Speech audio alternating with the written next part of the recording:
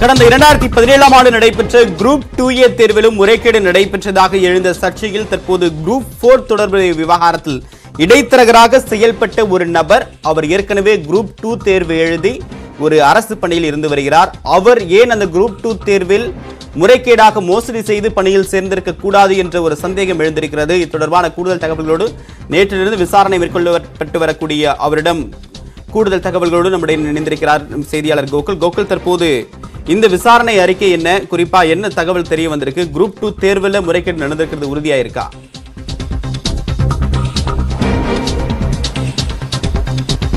TNPSC group four தேர்வு முறைகேட்டில் நேற்றைய தினம் மூன்று பேர் கைது செய்யப்பட்டு நீதிமன்றத்தில் ஆஜர்படுத்தி சிறையில் அடைக்கப்பட்டிருக்காங்க. இதில் இரண்டு நபர்கள் வந்து இடைத்தரகர்களாக செயல்பட்ட நபர்கள் திருவல்லிக்கேணியைச் சேர்ந்த ரமேஷ் என்பவர் டிபிஐயில் அலுவலக உதவியாளராக பணிபுரிகிறார். அவர் அவர் வந்து நேற்றைய தினம் கைது செய்யப்பட்டு சிறையில் அடைக்கப்பட்டுள்ளார். அதே போல் திருக்குமரன் என்ற நபர் மாமல்லபுரத்தைச் சேர்ந்தவர். இவர் கடந்த ரெண்டாயிரத்தி பதினேழாம் ஆண்டு குரூப் டூ டூ ஏ தெருவில் தேர்ச்சி அடைந்து எரிசக்தி துறையில் தற்பொழுது அலு அலுவலராக உதவியாளராக பணியாற்றி வருகிறார். குரூப் டூ ஏ தேர்வு என்பது நேர்முக தேர்வு இல்லாமல் எழுதக்கூடிய தேர்வு. ஆகவே அவரும் முறைகேடாக ரெண்டாயிரத்தி பதினேழாம் ஆண்டு அந்த குரூப் டூ ஏ தேர்வில் தேர்ச்சி அடைந்திருக்கலாம் என்ற ஒரு சந்தேகம் சிபிசிஐடி போலீசாருக்கு உள்ளது. அந்த இடைத்தரகர்களை பயன்படுத்தி அதாவது அவர் முறைகேடாக அந்த தேர்வில் தேர்ச்சி அடைந்த இடைத்தரகர்களை பயன்படுத்தி தற்பொழுது அதே வாயிலாக இந்த குரூப் டூ ஃபோர் தேர்விலும் அவர் முறைகேடாக இடைத்தரகராக இருந்து செயல்பட்டிருப்பது விசாரணையில் தெரிய வந்திருப்பதாக சிபிசிஐடி போலீசார் தெரிவிச்சிருக்காங்க. குறிப்பாக மற்றொரு நபர் நிதிஷ்குமார் என்ற தேர்வு எழுதிய தேர்வரும் கைது செய்யப்பட்டு நேற்றைய தினம் சிறையில் அடைக்கப்பட்டுள்ளார். அவரிடமும் பல விசாரணைகள் நடத்தப்பட்டுள்ளது. அவருக்கு இடைத்தரகராக தான் தற்பொழுது திருக்குமரன் இருந்து செயல்பட்டதும் தெரிய வந்துள்ளது. ஏற்கனவே கடந்த கால டிஎன்பிசி தேர்வுகளில் பல முறைகேடுகள் இருந்திருப்பதாக பல்வேறு சந்தேகங்கள் இருக்கக்கூடிய நிலையில் நேற்றைய தினம் கைது செய்யப்பட்டு சிறையில் அடைக்கப்பட்டுள்ள திருக்குமரனும் ரெண்டாயிரத்தி பதினேழாம் ஆண்டு தேர்ச்சி அடைந்தவர் என்பது ஒரு முக்கியமான விஷயமாக இந்த முறைகேட்டில் பார்க்கப்படுகிறது. தொடர்ந்து அவரை போலீஸ் காவலில் எடுத்து விசாரிப்பதற்காக சிபிசிஐடி போலீசார் முடிவு செஞ்சிருக்காங்க. நேற்றைய தினம் அவர் சிறையில் அடைக்கப்பட்டுள்ளார்.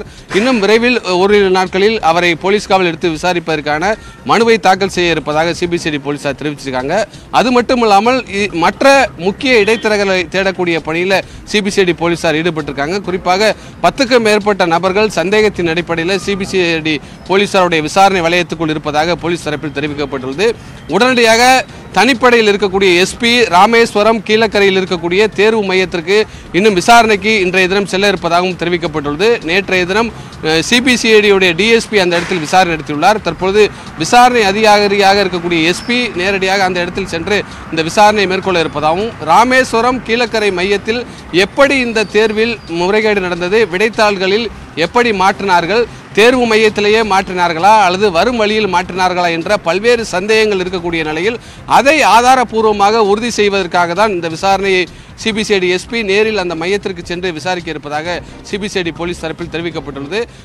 இடைத்தரகர்கள் மட்டுமல்லாமல் இங்கே இருக்கக்கூடிய தேர்வு மையத்தில் பணியாற்றிய அரசு அதிகாரிகள் டிஎன்பிசி அலுவலகத்தில் பணியாற்றக்கூடிய அலுவலர்கள் என பலர் இந்த விவகாரத்தில் இந்த முறைகேடில் சிக்க இருப்பதாகவும் இந்த தேர்வில் மட்டுமல்லாமல் கடந்த கால டிஎன்பிசி தேர்விலும் இந்த முறைகேடு நடந்திருக்கலாம் என்ற பல்வேறு சந்தேகத்தின் அடிப்படையில் ஆதாரங்களை திரட்டக்கூடிய பணியில் சிபிசிடி போலீசார் தற்பொழுது விசாரணை தீவிரப்படுத்தியிருக்காங்க. தேவப்பிரியன். குரூப் ஃபோர் தேர்வில் இடைத்தரகராக செயல்பட்டவர் குரூப் டூ தேர்வில் இரண்டாயிரத்தி பதினேழு தேர்வில் பணியில் சேர்ந்து அவர் தற்போது அரசு பணியில் இருந்திருப்பதும் தெரிய வந்திருக்கிறது. எனவே அந்த குரூப் டூ தேர்விலும் முறைகேடாக அவர் பணியில் சேர்ந்தாரா? அந்த தேர்விலும் ஏதாவது மோசடி நடந்ததா என்ற விவரத்தையும் தற்போது சிபிசிஐடி அதிகாரிகள் விசாரணை மேற்கொண்டு வருகிறார்கள். இது தொடர்பான கள விவரங்களை கொடுத்தீங்க உங்களுடைய தகவல்களுக்கு நன்றி.